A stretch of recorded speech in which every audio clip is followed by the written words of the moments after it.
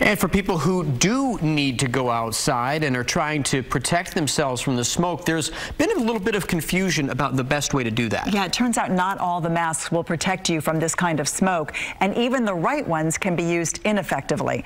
Sutter Health pulmonologists recommend that you only use the masks labeled with N95.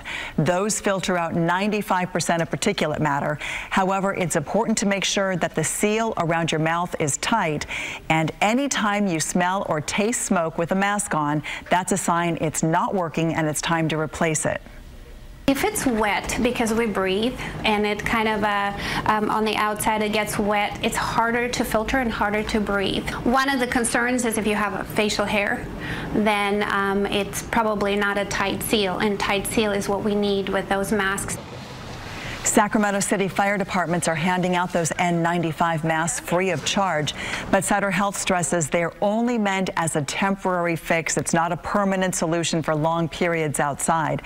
As for still going outside with no protection, they add that you may feel okay at first, but later could develop a shortness of breath. And if that happens, go see a doctor.